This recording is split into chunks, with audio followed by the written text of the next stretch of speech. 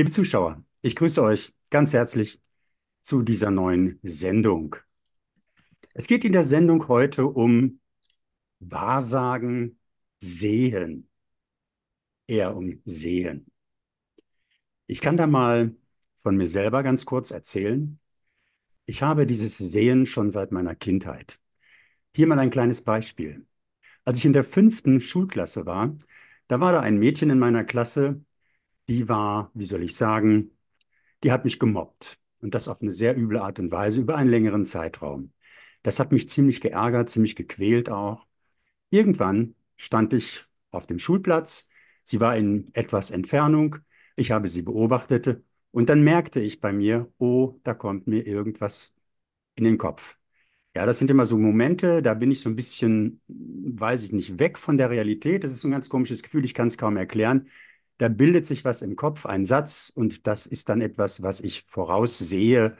Und da habe ich gesehen, den Satz oder gehört, den Satz im Kopf, du, und damit meinte ich dieses Mädchen, du wirst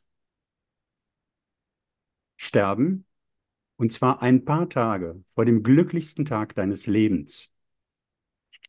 Ab dem Moment, wo ich diesen Satz im Kopf gesagt habe, das gesehen habe, hatte ich ein ganz anderes Verhältnis zu ihr. Ich hatte keine Angst mehr vor, vor ihr. Und auch das Mobben hat sich dann irgendwie mit der Zeit ziemlich schnell gelegt und war dann vorbei. So, viele Jahre später, zehn Jahre oder sowas, als ich schon in Berlin lebte, bekam ich einen Anruf von meiner Mutter. Die war sehr aufgeregt und hat mir erzählt, sag mal, äh, äh, äh, da ist eine, die, die muss bei dir in der Klasse gewesen sein, die ist vor ein paar Tagen verstorben. Dann habe ich sie gefragt, ich habe mich sofort erinnert habe ich sie gefragt, ist das die und die? Ich sage den Namen jetzt mal nicht hier. Sagt sie, ja, ganz genau. Und dann sagte sie mir, ja, die äh, ist drei Tage vor ihrer Hochzeit, vor ihrem Hochzeitstermin mit ihrem Bräutigam, zukünftigen Mann, tödlich verunglückt. Beide sind dabei gestorben. Das ist eine sehr unangenehme Geschichte. Es gibt natürlich auch Geschichten, die jetzt nicht so etwas mit Tod zu tun haben. Mittlerweile habe ich einen Mechanismus entwickelt, dass ich das bremsen kann, wenn mir etwas von einer Person in, in Richtung Tod hochkommt. Das kann ich dann stoppen, das kann ich dann nicht zulassen. Das ist sehr angenehm. Aber ihr Lieben, es geht heute nicht um mich und mein Sehen. Ich wollte euch nur gerade mal klar machen, dass ich damit auch selber sehr oft zu tun habe. Es geht um den wohl größten Seher der, des vergangenen Jahrhunderts, möchte ich jetzt mal so ganz frech behaupten, um Alois Irlmeier. Und über den unterhalte ich mich mit der noch lebenden, ja, also lebenden und sehr renommierten Seherin im deutschsprachigen Raum und auch darüber hinaus mit der Tahuti. Tahuti, ich grüße dich ganz herzlich zu unserer gemeinsamen Sendung. Hallo. Hallo Peter, schön, dass wir uns zusammengefunden haben. Wie das Schicksal so spielt. Ganz genau. Gleiches zieht Gleiches an. Seher und Seherin treffen aufeinander. Perfekt. Genau. Deswegen ist das für mich auch, und das wollte ich den Zuschauern mal klar machen, so interessant, mit der wohl ja, renommiertesten Seherin Mitteleuropas hier zu sprechen. Ganz toll. Es geht los, liebe Zuschauer, nach dem kleinen Jingle. Für alle Live-Zuschauer, es geht sofort weiter.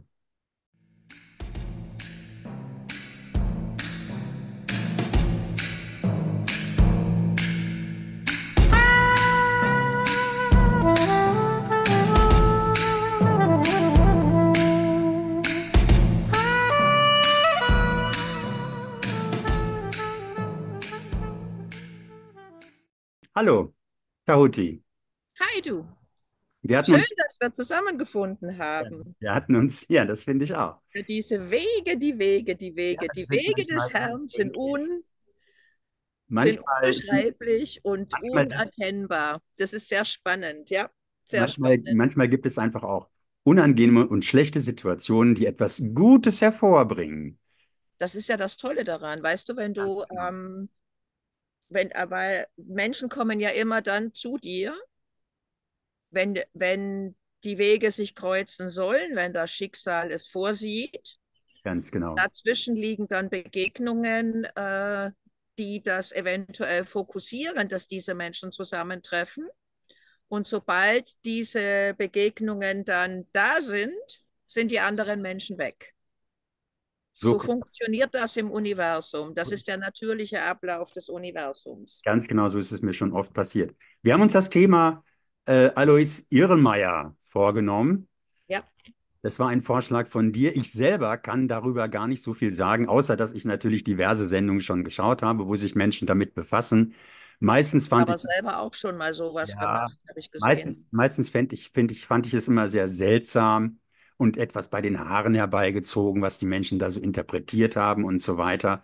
Nun lässt er aber auch sehr viel Interpretationsmöglichkeiten. Wie sieht das für dich aus, wenn du über Ihlmeier sprichst? Naja, ich, ähm, es ist schon so, man spricht ja auch von der stillen Post. Wie wird etwas weitergetragen? Ja. Äh, und deswegen ist es extrem schwierig, diese Aussagen noch komplett nachvollziehen zu können es gab da, es gibt da einen, der hat sich damit auseinandergesetzt. Ich selber bin damit aufgewachsen.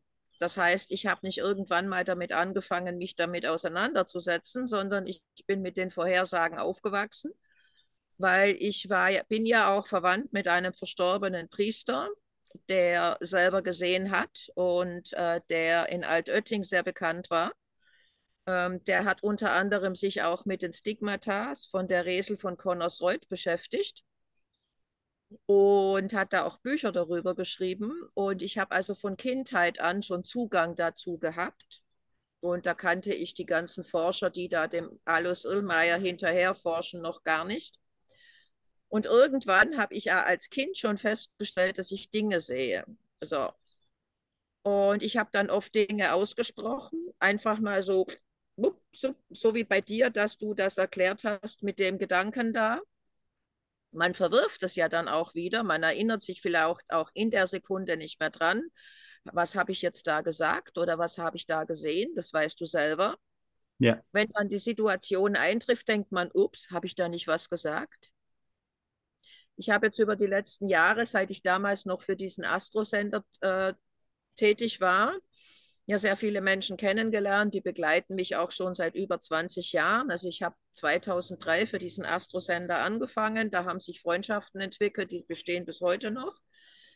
Und ich nenne sie immer meine Protokollführer, weil die schreiben oft Notizen dazu, was ich so sehe und sagen dann hinterher, das hast du gesagt, Herr Huti. Ja, so. Und da sind viele Visionen dazugekommen, wo mich dann andere daran erinnert haben, dass der Alois Irlmeier Ähnliches gesehen hat. Und dann habe ich angefangen, mich nochmal mit ihm auseinanderzusetzen und habe Vergleiche gezogen. Die mache ich astrologisch, die mache ich mit den Karten, die mache ich über Engelkontakt, über meine Visionen. Und da bin ich dann natürlich schon sehr erstaunt darüber, was der Mann gesagt hat und was ich so sehe. Vieles vergleiche ich aber auch mit dem Lied der Linde, was er gesagt hat. Ähm, vielleicht kennst du das. Nein, ich weiß jetzt. Dem hast du noch nichts gehört. Okay. Aber vielleicht äh, guckst du dir das mal an, weil im Lied der Linde sind sehr viele Facetten drin, die diese verstorbenen Seher gesehen haben. Der Stromberger, der Mühlhirsel, der, der Irlmeier und viele gehen ja auch davon aus, dass Stromberger und der Mühlhirsel ein und dieselbe Person waren. Und äh, ich bin allerdings selber ganz, ganz lange Zeit nur mit Nostradamus immer wieder konfrontiert worden und mit seinen Schauungen. Aha. Ich habe viel über Putin gesehen, auch was er tun wird, wie er reagieren wird. Ich habe äh, teilweise auch bei Schwergewichtsboxkämpfen Boxern gesagt, wie der Kampf ausgehen wird, ob sie verlieren werden oder nicht. Und irgendwann fing das mit den Visionen an richtig stark. Die Visionen waren dann 2012, wie ich nach Österreich ausgewandert war, dass ich Hochwasser habe kommen sehen. Äh, in welchem Ausmaß war mir das nicht klar. Ich habe nur Wasser gesehen und das kann man ja, man kann ja nicht sagen, das auf einen Zentimeter und aufs Datum genau, wann das eintrifft. Leider Gottes konnte ich das. Ich konnte das Datum nennen. Mhm. Ich habe ein paar Tage vorher angefangen, meine Sachen hochzuräumen. Leider nicht hoch genug. Vieles ist verloren gegangen, vieles aber nicht. Alles, was mir wichtig war, konnte ich retten. Und äh, ab dem Zeitpunkt ging es dann richtig los mit den Visionen. Und ich habe dann festgestellt, dass vieles von dem, was ich sehe, von Alois Irlmeier vorhergesagt worden ist. Und habe eine Freundin, die halte ich persönlich für die Reinkarnation des Alois Irlmeier und mit der spreche ich mich ab und dadurch habe ich natürlich auch Erfahrungen, was sieht sie, was sehe ich, was hat Irlmeier gesehen. So kommen die Gespräche zustande. Ganz genau. Und vor allem kommt dann so auch ein klareres Bild zustande. Jetzt hast du eben ein Reizwort gesagt, für mich jedenfalls, und zwar Putin. Okay. Da müssen wir jetzt noch mal ein bisschen thematisieren. Was hast du mit Putin im Zusammenhang gesehen? Also Putin, ähm, ich hatte meinen ersten, meinen ersten, mein erstes Flashback äh, in der Silvesternacht von 99 auf 2000 mhm. und habe gesagt, jetzt kommt der von Nostradamus ähm, vorhergesagte russische Fürst oder Zar. Und in dieser Nacht hat Jelzin Putin zu seinem Nachfolger erklärt. Es gibt ja auch, ganz kurzer Einwurf, es gibt ja auch Gerüchte, dass genau in dieser Zeit Putin tatsächlich als Person ausgetauscht worden ist. Ich weiß nicht, ob du da schon mal was von gehört hast. Nee. Uh -uh. 99 soll Putin ausgetauscht worden sein gegen den Putin, den wir heute als Putin kennen. Und das ist ein guter Putin, heißt dieses Gerücht. Und der alte war kein guter Putin. Na, ich kenne das anders. Also ich kenne jemanden, der hat fünf Jahre mit Putin im Osten zusammengearbeitet.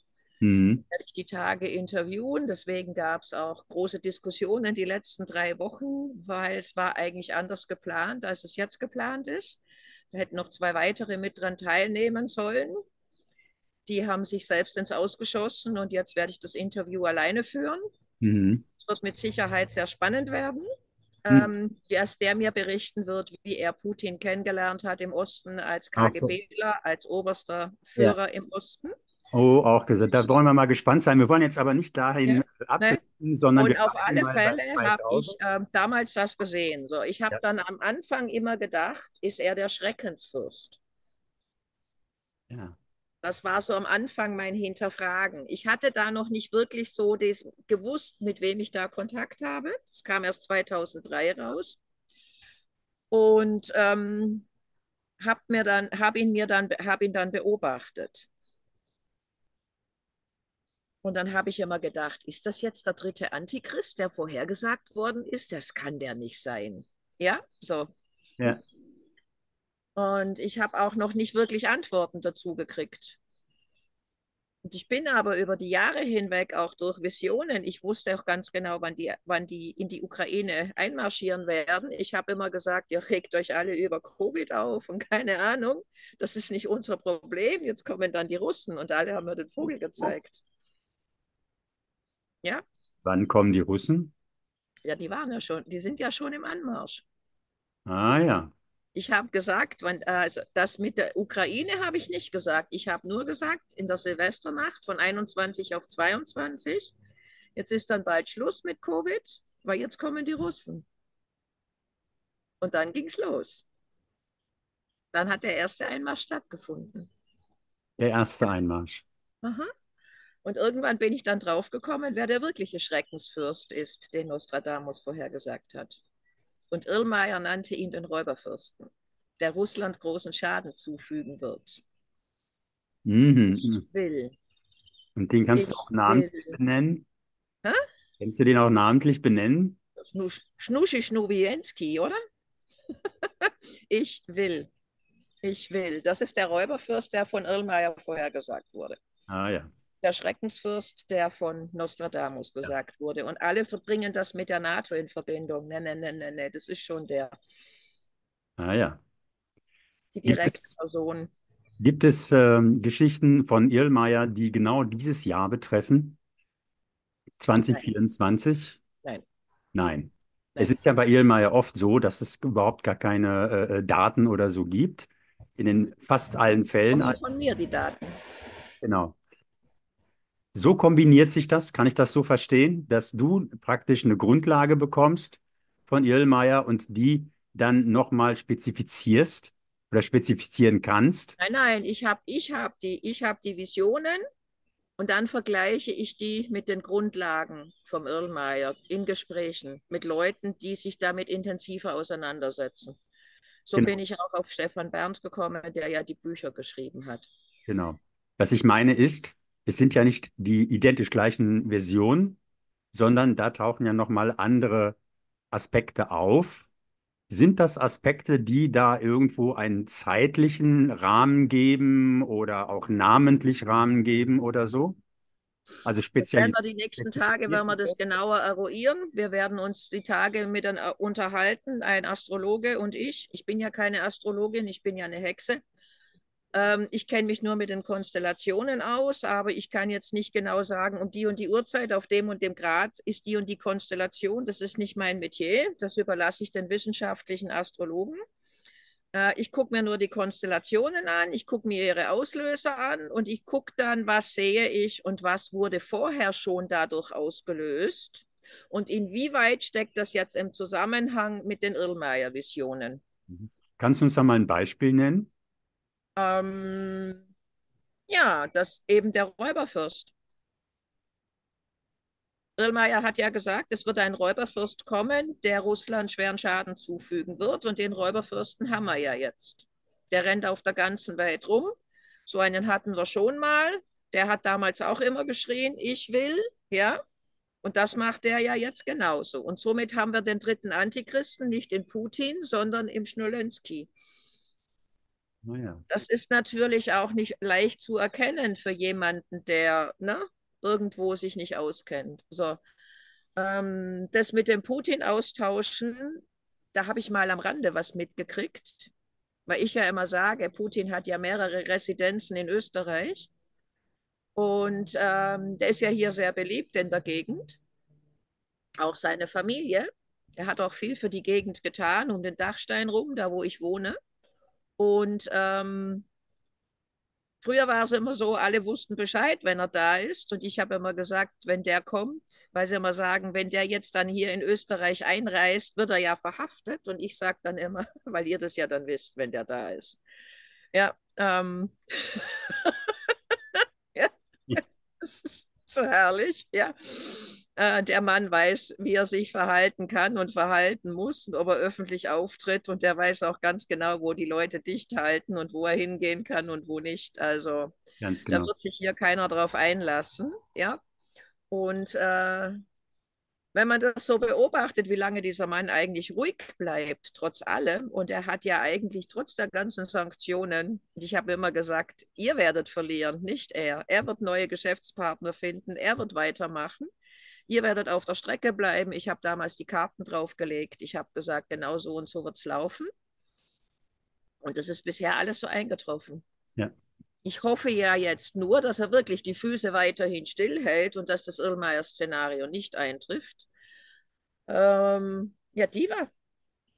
Fehlen noch bestimmte Vorhersagen? Ja, für sehr viel. Es fehlen Friedensgespräche zwischen Obama und Assad, die ich, wir gesehen haben, nicht nur ich, auch andere. Ähm, dann Friedensgespräche zwischen Süd- und Nordkorea. Warum, wissen warum, warum Obama? Obama ist ja immer noch in der, in der, in der, in der Partei. Ja, aber Keine Ahnung, warum es Obama ist. Ich habe es halt so gesehen. ah, Ich ja. kann ja auch nicht sagen, warum Sebastian Kurz anschließend dann Kaiser von Österreich wird. Das habe ich halt in Bildern gesehen. Ja, das passt manchen Leuten vielleicht nicht in Kram. Aber bis dahin rennt noch viel Wasser die Enns runter, sage ich immer. Oder die Donau oder den Rhein oder keine Ahnung oder die Themse. Aber ähm, das sind halt Bilder, die ich sehe. Ich muss das ja nicht bewerten, was ich sehe. Es reicht ja, wenn ich was sehe, ich notiere mir das, ich gebe das so weiter und dann kann jeder selber draus machen, was er will. Das ist ja nicht meine Aufgabe, das zu bewerten Ja. oder da eine Wertung draufzulegen. Aber das Das ist, weißt du selber. das ist ganz interessant, genau, was du gerade sagst. Ich habe ja in meinen Geschichten auch immer, äh, äh, es besteht meistens aus zwei Sätzen. Der erste Satz ist relativ real, der ist nachvollziehbar. Und der zweite Satz, da wundere ich mich immer. Hä, was soll das jetzt heißen? Ja, ich habe zum Beispiel mal ähm, äh, vor dem Reichstag gestanden und in den Tiergarten geschaut und gesagt, ach, hier werde ich mal wohnen. Im Tiergarten, was natürlich in dem Moment völlig unsinnig, unsinnig war, aber ein realistischer Gedanke schon. Aber es werden Glocken sein und diese Glocken werden ganz schrecklich sein. Dachte ich mir, was für Glocken? Wie sollen denn da jetzt Glocken hinkommen, ja? Es war ganz seltsam. Ja, gut, zehn Jahre später äh, äh, war das Tempodrom. Das war ein Veranstaltungsort in Zelten, also Zirkuszeltmäßig, genau an der Stelle, die ich bezeichnet habe, äh, äh, aufgestellt worden. Die waren vorher jahrelang in Kreuzberg. Irgendwann bin ich da eingezogen und habe da gearbeitet, sechs Jahre lang. Und an dem Tag, wo ich einzog, ist äh, da, wo wir unsere kleine Wagenburg, also ich hatte den Wagen, den, den, den Zirkus, ein Original-Zirkuswagen von Nina Hagen geerbt. Die war nämlich da mehr oder weniger am Ausziehen schon und ich bin in ihren Wagen gezogen. An dem Tag, äh, wo ich eingezogen bin, ist äh, in, neben unserer Wagenburg, die wir so uns so gebaut haben, ne, indem wir so ein paar Wagen zusammengestellt haben, eine Baustelle eröffnet worden. Und da war ich natürlich neugierig und bin dann irgendwann zu den Bauarbeitern gesagt, sag mal, was wird das denn hier? Ja, wir bauen hier einen Glockenturm. Das gibt es nur zweimal dann auf der Welt. Ja, das ist so ein ganz schlanker, großer Turm und oben ist ein Glockenspiel und da sitzt dann einer und der spielt das wie eine Orgel mit Händen und Füßen. Ja, und tatsächlich irgendwann war das fertig und dann kam da auch so ein Mensch, der da immer wieder übte. Es war ganz schrecklich, weil er übte immer klassische Stücke, die ich alle kannte und hat immer dieselben Fehler gemacht und es war, es war furchtbar. Es war nicht mit anzuhören. Wenn man mal ein ganzes Stück hört, was er fehlerfrei schreibt, ist das ja vielleicht ganz schön. Ne? Aber tagelang zu üben und immer wieder die gleichen Fehler zu machen und hin und her. Aber da wusste ich, aha, ah ja, so war das gemeint. Ja, und beides war nicht voraussehbar, weil dass das Tempodrom ausgerechnet an diese Stelle kommt, ja, mhm. beziehungsweise dann auch noch ein Glockenturm da gebaut wird, das war zehn Jahre oder 15 Jahre vorher absolut nicht absehbar, ja. Aber das sind immer diese komischen Nachsätze. Ne? Es kommt erst so ein realistischer Satz und dann kommt so ein Nachsatz, wo ich einmal denke, hä, was soll das denn werden? Das, das kann ja nicht hinhauen. Das ist ja völliger Quatsch irgendwie, ne? Ich kenne das irgendwoher, ja. Ja, ja, ja. ja. Geht ja wenn ich mir ja dann die aktuelle Situation zu dem anschaue, ja, also so nach dem Motto, alle haben geschrien, Kurz muss weg und ich sehe mhm. den als Kaiser und dann sehe ich ein Foto von Prinz Charles in jungen Jahren und sehe den Sebastian Kurz und denke mir, ach guck mal, ist ein und dasselbe Gesicht, ja. Ja. Ähm, da denke ich mir dann schon, also irgendwo muss ja was dran sein. Lassen wir uns überraschen. Ob es so kommt, weiß ich ja nicht. Und das ist auch, so was ähnliches hatte ich ja auch mit meinem Tiny House hier. Ja. Ich habe 2016 eine meiner besten Freundinnen kennengelernt, kurz nach, nachdem ich äh, bin vor zehn Jahren ja hierher gezogen. Und da habe ich dann 2016 eine meiner jetzigen besten Freundinnen kennengelernt in einem Lokal. Und wir haben uns immer über Tiny Häuser unterhalten. Und ich habe damals noch in 137 Quadratmetern gewohnt. Und ich habe immer zu ihr gesagt, weißt du, mir wird das mit der Zeit zu groß. Eine 60 Quadratmeter Wohnung und ein Tiny House zum Hin- und Herpendeln wäre eigentlich genau das Richtige. Ja. Schön. Ich habe das alles abgehakt. Ich habe das mit meinen ganzen Freundinnen besprochen. Mal 60 Quadratmeter Wohnung und Tiny House. Und was kam 2020? 60 Quadratmeter Wohnung und ein Tiny House. Ja, wunderbar. Also es war dann irgendwie ganz witzig, wie das gelaufen ist. Ja. Äh, und dann hat meine Freundin gesagt, na, das hast du doch immer gesagt, 60 Quadratmeter Wohnung und Tiny House. Ich habe noch eine Frage zu dem Kurz. Ja. Wird er denn, wenn er dann Kaiser ist, auch wieder zurück in Schloss Schwanstein sein? Der ist gut. Ich glaube eher, das wird die Wiener Hofburg. Kleiner Spaß am Rande. Ja, war gut, ja, aber wie gesagt, aber da gibt es auch Bilder. Wiener Hofburg. Ganz genau. Ganz genau. Ah, herrlich. Nee, aber dann, und dann gab es ja noch was. Also so, weil es hat ja immer geheißen, Irlmeier hätte Krönungen vorhergesehen. Und dann gab es ja auch die Diskussion mit dem schwarzen Papst immer. So, und ich und der, und der Papst in Lederhosen. Und ich habe immer gesagt, Benedikt ist der Papst in Lederhosen. Kardinal Josef Ratzinger, habe ich 2003 gesagt, ist der Nachfolger von Johannes Paul II. Alle haben mir den Vogel gezeigt. Drei Tage vorm Konklave ja. sagte meine Mutter noch zu mir, der wird niemals Papst. Habe ich gesagt, was sehen, der wird Papst. Meine Mutter habe ich nach München an den Flughafen gefahren, die ist nach Tunesien geflogen. Meine Mutter steigt in Tunesien vom Flieger aus. In, der, in dem Moment kommt Habemus Papuam Kardinale Josef Ratzinger. Meine Mutter mich angerufen von Tunesien aus. Ah. Du hattest recht, du hattest recht. du hattest recht. Und habe ich gesagt, ja, und das ist der vorhergesagte schwarze Papst, hat mir auch keiner geglaubt. Und dann hat er sich als Papstsiegel den schwarzen Moor von Freising genommen. Und somit war dann praktisch der schwarze Papst besiegelt. Hammer, ja. Das, und dann haben alle gesagt, ja und? Da habe ich gesagt, ja rein theoretisch müsste dann er einer der Päpste sein, die aus dem Vatikan flüchten. Ich stehe 2013 am Rosenmontag beim Fetzenumzug in Ebensee kommt eine Freundin zu mir her, Nachbarin von Ebensee. Hast du schon gehört, der Papst ist zurückgetreten. Mir ist fast das Glas aus der Hand gefallen mit, meinem, mit, meiner, mit meiner roten weißen Mischung. Ich bitte was? Ja, der Papst ist zurückgetreten. Das hast du doch gesagt. Ich bin kreidebleich geworden. Ganz Ebensee, Tauti hat gesagt. Ja? sondern ich habe das gar nicht glauben können. Ich bin ja dann an dem Tag irgendwann mal im Zickzack dann nach Hause, was man halt so hat, wenn man auf, wenn man auf dem Fasching ist. Ne? Bin dann irgendwann ins Bett. Am nächsten Morgen bin ich aufgewacht, habe den Fernseher eingeschalten, habe gedacht, ich höre nicht richtig. Ja. Ja, haben sie gesagt. Und dann habe ich gesagt, ja, dann müsste jetzt der nächste Papst, der letzte Papst sein, wie vorhergesagt. Und der müsste dann letztendlich noch die Häupter krönen. Ah. Mhm.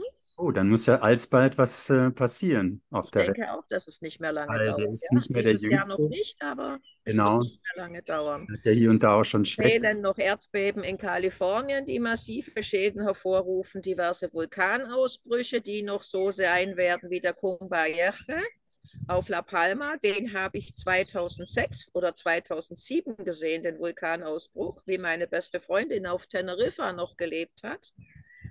Ähm, und ähm, es fehlen noch diese Friedensgespräche. Und dann rennen ja, und das äh, Irlmeier sprach immer von drei Hochgestellten, wir anderen sehen aber vier. Kim Jong, Assad, Trump und Erdogan. Und die rennen ja alle noch durch die Gegend. Äh, und was ich, äh, und Stefan hat mich mal angeschrieben, das mit der Freiheitsstatue findet er so interessant, ob er das von mir in sein Archiv, Archiv aufnehmen darf. Und ich habe dann gesagt, du, äh, ich mag das eigentlich nicht so, ja, wenn mich andere archivieren, meine Aussagen. Und ähm, ich habe nur gesagt, ja, wenn die Freiheitsstatue fällt, dann geht es über Nacht Schlag auf Schlag los dann ist auch nicht mehr viel Zeit, von bestimmten Orten zu flüchten. Aber in dem Moment, wo die Nachrichten kommen, Amerika wurde, wird angegriffen, direkt angegriffen, ähm, packt schon mal eure Sachen und schaut, dass ihr da wegkommt, wo die Krisengebiete sind. Ja, also mehr kann ich auch nicht sagen, weil ich sehe halt nur so spezifische Momente. Und bei mir ist es halt so, dass mir, bevor es losgeht, drei Tage vorher richtig übel wird. Also ich Mhm. habe dann Ja, ja. Ich hyperventiliere dann und dann geht es richtig rund. Und so war es auch vor dem Einmarsch äh, der Russen in die Ukraine. Da ist mir auch richtig schlecht geworden. Lauti, ich kann dir jetzt mal was erzählen Ja. zu dem, äh, äh, zu Amerika, speziell die USA. Da hatte ich einen, ich habe ja meine Geschichten nicht nur als ähm, außergewöhnliche Momente, wo mir Sätze in den Kopf kommen oder gelegt werden oder wie auch immer, sondern auch über Nacht. Ich habe zwei Arten von Träume. Einmal das, was wir schlechterdings als äh, äh, Verarbeitung des Tages von irgendwelchen Geschehnissen oder sonst was kennen als Traum. Aber ich habe auch noch andere Träume, in denen ich ganz genau weiß, ich träume zwar jetzt, aber das, was ich träume, hat alles eine, einen äh, tatsächlichen realen Bezug und da werden mir Sachen offenbart. Äh, da habe ich Begegnungen mit äh, außergewöhnlichen Menschen, äh, wo mir klar wird, was mit denen eigentlich tatsächlich los ist. Könnte ich dir auch mal eine interessante Geschichte über Putin erzählen. Jetzt wollte ich aber erzählen von Amerika. Ich hatte Ja. einen Traum, in dem mir schlagartig klar war, und ich habe das auch mehr oder weniger körperlich miterlebt, was in naher Zukunft in Amerika mit dem Kontinent passiert. Und das hat mich so erschreckt. Am nächsten Tag, ich war sehr irritiert und habe tatsächlich ein paar Wochen später mehrere andere Seher teilweise auch gehört und äh, miterlebt, die was Ähnliches erzählt haben. Und ich war ganz äh, von den Socken, ich sagte, das ist ja genau dasselbe, was ich auch hatte. Siehst ja. du was? Es geht, es geht äh, äh, zum Beispiel äh, um die Westküste. Ein Stück wird abbrechen, Florida wird eine Insel. Es geht um die Ostküste, und zwar da, wo jetzt das Regierungsviertel und so weiter ist, diese ganze Gegend. Da wird sich ein Berg auftun. Es geht um den mittleren Bereich der USA, wo etwas geschieht, was ich nicht mehr genau weiß, was es war. Ich kann mich da einfach nicht dran erinnern, aber da passiert auch irgendetwas. Ich weiß nicht, was es ist. Äh, und insgesamt wird unheimlich viel Wasser sein. Ja. Wasser und Erdbeben. Also es wird, äh, es wird England wird, äh, wird, wird absaufen und Teile von Amerika werden auch absaufen und Teile von Deutschland werden absaufen und viele andere Teile werden auch absaufen. So viel Wasser haben die Leute schon lange nicht mehr gesehen. Und das ist ungefähr so vergleichbar mit den Wassern, die ich damals in Ebensee gesehen habe, wie die gekommen sind im kleineren Rahmen.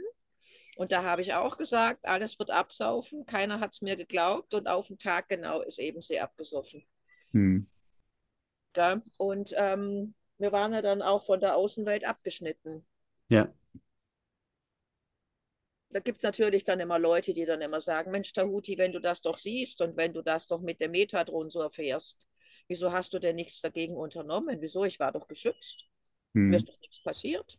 Hm. Da, wo ich mich aufgehalten habe, da sind meine Füße trocken geblieben. Hm. Also, man kann es natürlich auslegen, wie Ja. man will. Ne? Du kannst im größten Krisengebiet kannst du beschützt sein, ohne dass du weg musst. Wenn Ganz du genau. einfach stabil auch bist in dir selber und sagst, wieso, ich bin doch beschützt. Ja, das wollte ich gerade noch ergänzen zu Ja. meiner Geschichte, ist, dass ähm, äh, äh, das, was ich für Amerika gesehen habe, also für gerade im Speziellen für den Kontinent äh, und äh, die Umrisse von, von den USA, dass die Leute in der Mitte, auch wenn sie schwere Dinge erleben werden, mehr oder weniger geschützt sein werden. Ja, denen geschieht leiblich nichts. Genauso ist es auch an der Westküste, ne, also links da, wo Florida ist und so weiter. Auch da geschieht zwar sehr viel, ja, aber die Menschen werden da nicht so stark tangiert.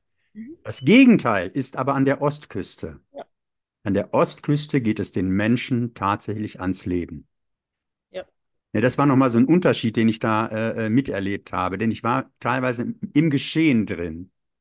Im Geschehen drin und habe das beobachten können. Das war wirklich sehr, oh mein Gott, also das war ein, wie ein Hollywood-Film mit äh, mega teurer Animation, ja. Das war ungeheuerlich, ja. Also wirklich, also mich hat es sehr stark mitgenommen. Am nächsten Tag ging es mir dann wirklich sehr schwer.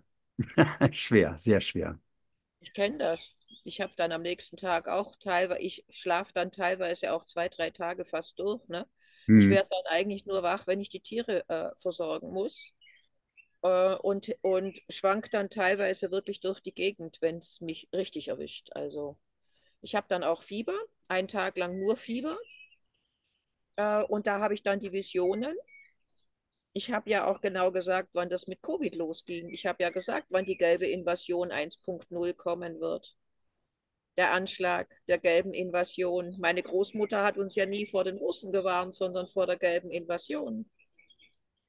Ja, Und ich kenne ganz viele Leute, die haben null Angst vor Putin. Die sagen, wir haben eher Angst vor den Amerikanern wie vor Putin. Lauter Leute, die im Osten groß geworden sind. Ja. Die sprechen ja auch fast alle Russisch. Ja nun, Fakt ist ja auch, wenn sich äh, äh, äh, die USA mit Putin tatsächlich anlegen, dann wird das ja nicht auf der anderen Seite des Globuses, ne, über Alaska oder so ausgetragen, sondern es wird über Mitteleuropa ausgetragen. Ja, und die einzigen, die dann leidtragend sind, sind die Mitteleuropäer. Ja, und sonst gar nichts. Dazu wird es aber nicht kommen, nicht in der Form. Nein. Da bin ich mir auch ganz sicher, da habe ich auch schon Erlebnisse zu gehabt, die äh, für mich auch ganz klar sind. Äh, das, dazu wird es nicht kommen. Es werden andere Dinge geschehen, aber eben nicht dieser direkte Konflikt. Aber wir, wir werden keine Diktaturen bekommen, weil der Pluto im Wassermann wird das verhindern. Ganz genau, ganz genau. Ne, es wird allerdings auch jetzt erstmal, diese ganze Angst und Panikmache zu Corona-Diktatur und Klimadiktatur und die und die und die Hu-Diktatur und die Diktatur äh, wobei alles aber. Wobei man, aber auch, wobei man aber auch eins sehen muss, es wird jetzt erstmal schlimmer. Und zwar ja. sehr viel schlimmer. Das werden wir uns jetzt noch gar nicht richtig ausmalen können, wie schlimm es in naher Zukunft schon wird. Aber das ebbt auch wieder ab. Es äh, löst sich ganz plötzlich und sehr schnell auf und wird dann tatsächlich etwas, was wir uns jetzt noch gar nicht träumen können. Und darauf können wir uns alle sehr freuen. Das ist ja auch das, was Irlmeier gesagt hat, dass danach ein goldenes Zeitalter kommen wird. So kann man es nennen, ja. Ja. Weil die Leute werden jetzt auf die Straße gehen und werden sich das nicht bieten lassen. Jetzt kommt noch mal, jetzt kommt noch mal die Aufarbeitung des Karmas vom Ersten und Zweiten Weltkrieg, wenn der Pluto wieder im Steinbock ist. Und dann, wenn der Pluto endgültig in den Wassermann gewechselt hat, dann beginnt es mit den Freiheitskämpfen und mit den Freiheitsdemos und dann gehen auch noch viel, viel mehr Leute wie bisher die letzten Jahre auf die Straße. Es wird noch richtig krassig werden. Ja. Das ist dann die Verschlimmerung dann auch. Und die wird sehr, ja, apokalyptisch hier regelrecht. Aber äh, man muss immer eins dazu äh, auch ganz klar sagen, ähm, es werden viele, die jetzt da sind und auch davon wissen, in dieser Zeit nicht mehr da sein und direkt nach dieser Zeit wieder auf der Erde auftauchen. Mhm. Die neue Inkarnation dann. Ganz genau. Das ist auch was ich, ich habe schon so oft gesagt, mir ist es eigentlich wurscht, ob ich das überlebe, weil dann komme ich halt wieder, wenn es vorbei ist und inkarniere wieder neu. Also. Ganz genau. genau das.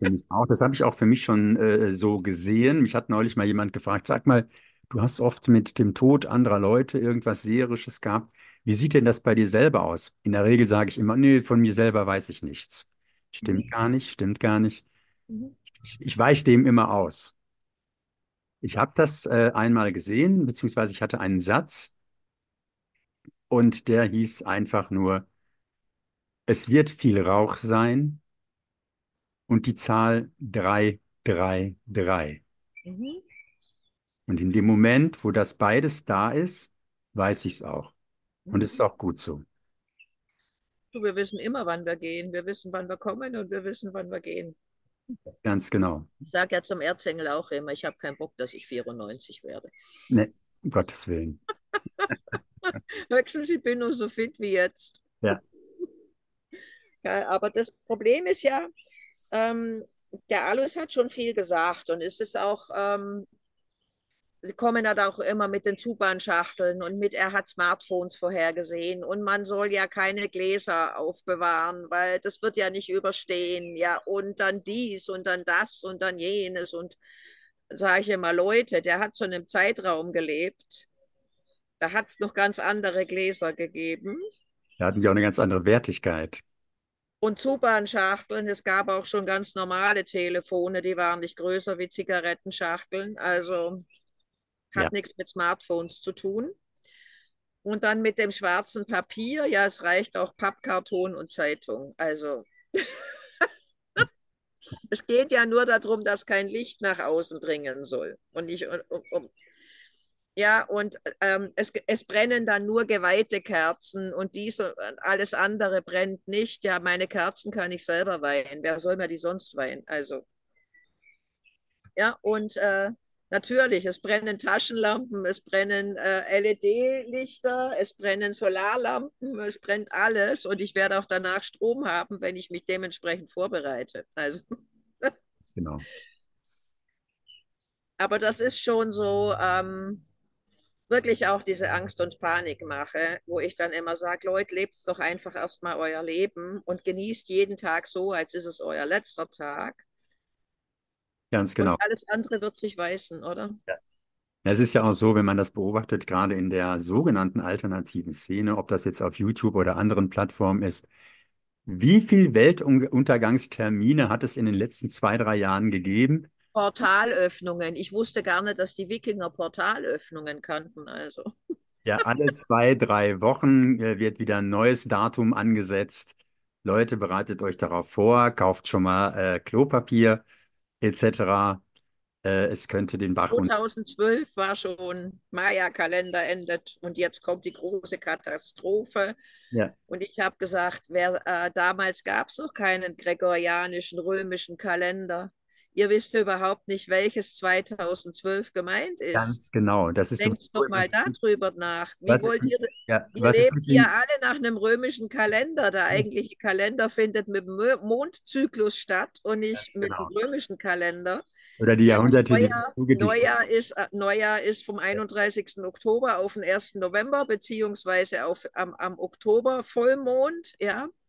Da ist Samhain, da ist die Ahnennacht und das ist das Allerheiligen, eigentlich was die Christen machen und nicht äh, nach dem römischen Kalender, ja. Beltane, Dunkelmond war jetzt beendet. Wir haben alle Beltane gefeiert an Vollmond, dann an dem, am, am römischen Kalender und dann haben wir noch Beltane gefeiert, den Abschluss jetzt beim Dunkelmond. Ähm, das ist der eigentliche Ablauf des Universums und nicht das, was einem ständig irgendwo eingetrichtert wird. Aber du siehst ja, wie die Leute da alle dran festhalten. Ja, leider.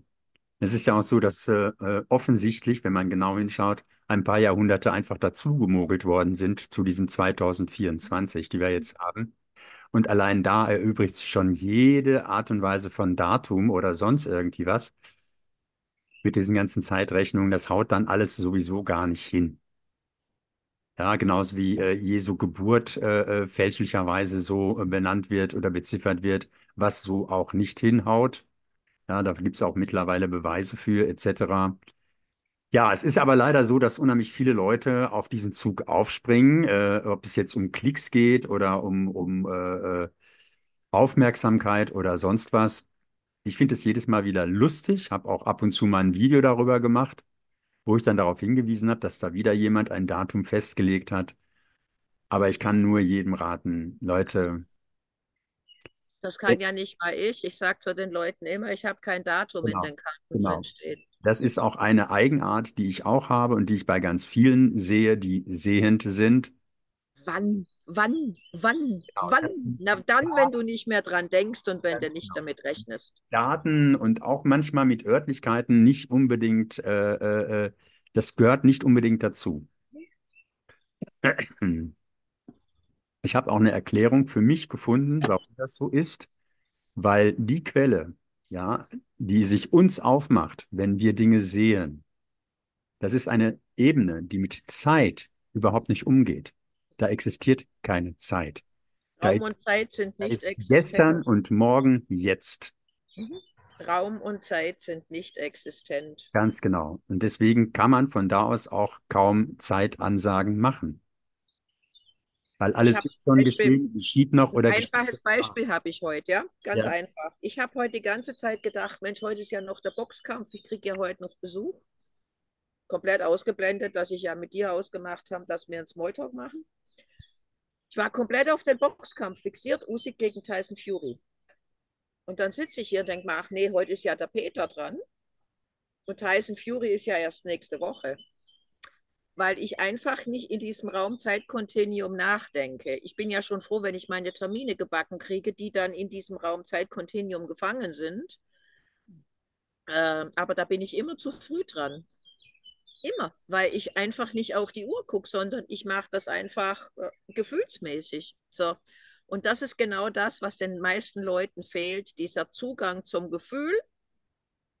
So, es muss alles analysiert werden, es muss alles in Kategorien eingeteilt werden. Es, dies wird analysiert, das wird analysiert.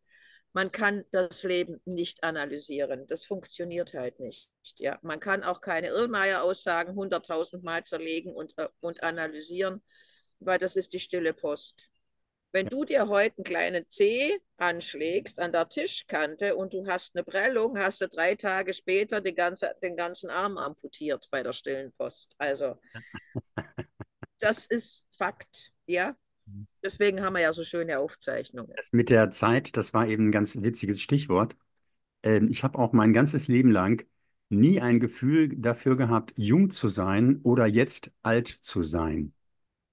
Ich weiß nicht, äh, äh, ich mache manchmal den Spaß irgendwie, ja, mit 20 äh, habe ich beschlossen, Berufsjugendlicher zu bleiben, zu sein und zu bleiben.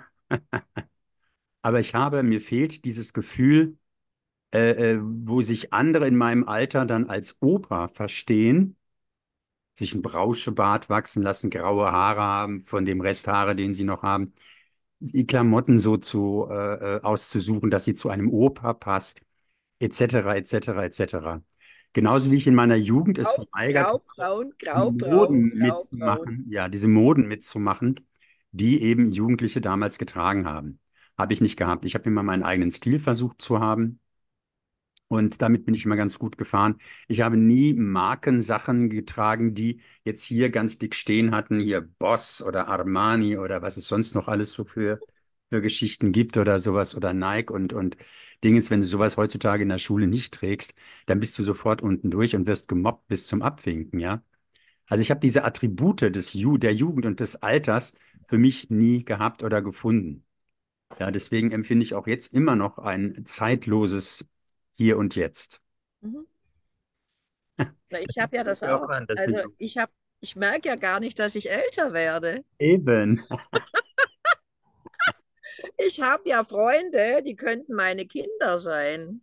Ja. Das sind teilweise die Eltern, datumsmäßig jünger wie ich. Ja.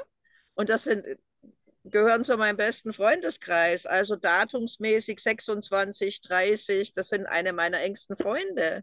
Ja ich renne ja auch, äh, ich fühle mich nicht äh, laut Kalender so und so alt, wie ich eigentlich sein sollte. Ja, guck mich an, ich renne hier rum wie ein Teenager. Also, das ist für mich, wie gesagt, Raum und Zeit sind nicht existent, lieber Peter. Ganz ja? genau. Und du wirst, bist immer nur so alt, wie du dich fühlst. Deswegen hoffe ich ja, dass mein Motorrad wieder in Schuss kommt. Mhm. Naja, also das mit dem Irlmeier-Szenario, das ist so ein Thema, ja. Hm. Genau, es gibt halt, wie gesagt, bestimmte Sachen, die kann ich bestätigen. Bei allem anderen kann ich nicht mitreden. Ich hatte auch meine Visionen zu den Gebieten, das ist alles in Karten drinnen.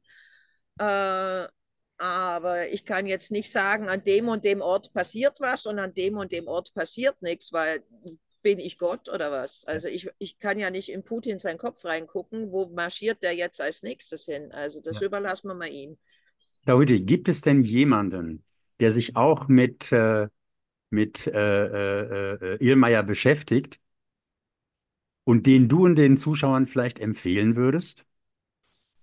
Mm, die Person möchte nicht in der Öffentlichkeit genannt werden. Oh, ja, gut. Ja. Und sonst gibt es da niemanden, mit mir, die geht zu Seher-Treffen, äh, ja. Treffen, wo ich sage, das ist meiner Meinung nach die Inkarnation von Alois.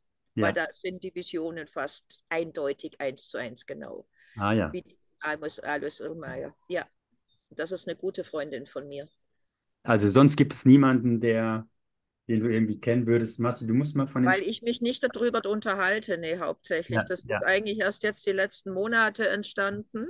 Ich dachte, du kennst vielleicht irgendwo eine Internetpräsenz äh, bei YouTube oder in irgendeinem anderen Kanal, wo sich jemand damit befasst, der das relativ, äh, äh, äh sag ich mal, realistisch macht und nicht so, äh, äh äh, Wunschdeute. Gottisch und gottgläubig genau, und, genau, und es genau. als, äh, als äh, es wird auch es wird auch Jesus nicht kommen und wird die Menschen retten. Auch das wird nicht passieren. Ich weiß nicht, wie die da drauf kommen. Die glauben ja jetzt alle durch das Irrmeier-Szenario wird dann Jesus wieder kommen und wird wieder alle erretten. Das wird nicht so sein. Hat ich habe eine Freundin, die glaubt da auch komplett dran und ich habe ja immer wieder gesagt, er wird nicht kommen. Es wird das Zeichen am Himmel erscheinen ja, es gibt auch keinen Polsprung, das sehe ich hm. auch nicht. Ja, ich sehe eher einen, einen Asteroideneinschlag oder sowas wie einen Sonnensturm oder sowas in der Richtung, was die Finsternis hervorrufen wird, was ja diesen Staub auch aufwirbeln kann, der gefährlich ist, wenn man ihn einatmet. Und ähm, aber das andere kann ich alles nicht unterschreiben. Wie gesagt, das sind ja nur Visionen. Ob die so kommen, das weiß ich ja nicht. Ich habe ja keinen Garantieschein. Ich weiß ja nicht, was der Engel mir da als nächstes zeigt. Ich bin ja auch immer noch der Meinung, das kann man abwenden. Hm. Ja. Also ist. Äh, Schauen wir mal, was die Konstellationen jetzt dann mit ja, sich bringen. Ja. Über die werde ich mich ja am Montag mit Paul unterhalten.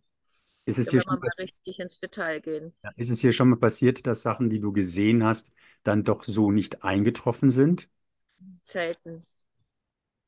Aha, gibt es da ein Beispiel? Ich kann mich jetzt an nichts definitiv erinnern. Weil es gibt ja die Theorie, äh, dass äh, manche Leute behaupten, dass sich die Zeitlinie verändert. Eine gute Ausrede für manche Seher, ja, die dann sagen, ja, das ist nicht eingetroffen, weil sich die Zeitlinie verändert hat. Ich sage ja keine Zeiten, ich sage ja nur Tendenzen. Ich muss, ich muss dann immer lächeln, weil das ist natürlich die tollste Ausrede, die man sich überhaupt ausdenken Weil kann. das ist, verstehst das hängt mit den Portaltagen zusammen, die die Ja, Wikinger ja auch nicht kennen. ja, ja, ja. Gut. Ich habe das vom Gefühl her so gesehen. Ja. Meine Liebe, wir sind jetzt ungefähr seit einer Stunde uns am Unterhalten. Ich würde jetzt gerne noch eine Stunde drauflegen. Wir wollen aber die Zuschauer nicht überfordern Richtig. mit einem viel zu langen Video. Machen wir lieber mal noch ein zweites Mal eins. Das schreit nach einer zweiten Sendung. Da würde ich mich wirklich sehr freuen, wenn wir das nochmal machen würden. Vielleicht gehen wir dann nochmal ein bisschen mehr ins Eingemachte. Mal ab, was jetzt mit Paul rauskommt, dann können wir da drauf einsteigen. Genau, In die geopolitische Weltlage. richtig. Heute freue ich mich, dass es überhaupt zu dem Gespräch gekommen ist, dass wir uns kennengelernt haben und es dazu gekommen ist. Ich bedanke mich ganz, ganz herzlich bei dir. Es war wirklich Danke sehr dir. schön. Gell? Weil ich hatte, muss ich dir ganz ehrlich sagen, äh, es gab natürlich Menschen, die mir gesagt haben, oh, schwierige Person, diese Tahuti, mach das nicht, die könnte auch gefährlich sein, oh, die ist von der bösen Seite und Die hin und her. Voodoo-Puppen, die Voodoo-Puppen, die Voodoo-Puppen, ja. Ja, Und dann, sagen, muss sagen, logisch bin ich schwierig, ich bin nicht manipulierbar. ganz genau, so wie ich auch. Ich muss ganz ehrlich sagen, liebe Zuschauer, ich habe Tahuti im Vorfeld ja schon kennengelernt und ich muss sagen, so ein herzensguter, lieber Mensch ist mir selten untergekommen als neue Bekanntschaft. Und ich kann nur sagen, sie ist auf jeden Fall auf der guten Seite. Sie geht mit ihren Kräften immer positiv um. Sie fügt niemandem äh, Schaden zu. Und vor allem, wenn das mal so sich so anhört wie neulich etwas mit der Voodoo-Puppe, dann ist das beabsichtigt, einfach jemanden zu ärgern. Getan hat es trotzdem nicht. Das wollte ich nur noch mal dazu sagen. Ich sehe Ich würde, sie meine viel grüner, zu schön, wie dass ich die verheizen würde. Zum Beispiel. Zum Beispiel. Sie ist einfach ein sehr lustiger, ein sehr lebensbejahender und wirklich sehr freundlicher Mensch. Das kann ich sagen. Ich habe sie jetzt, wie gesagt, ich kenne sie erst seit ein paar Wochen, aber die Gespräche, die wir bis jetzt gehabt haben, waren immer sehr schön und haben mir viel gebracht. Und dafür bedanke ich mich nochmal ganz herzlich bei dir, Tauti. Ich danke dir für dein Vertrauen. Und wie gesagt, die Wege des Herrn sind unergründbar. Es gab Wege, die haben uns einfach zusammengeführt. Ich danke dir, Peter. Ich habe Das kann ich nur zurückgeben. Gell? Bussi, Papa. Liebe Zuschauer, euch noch einen schönen Abend. Tschüss.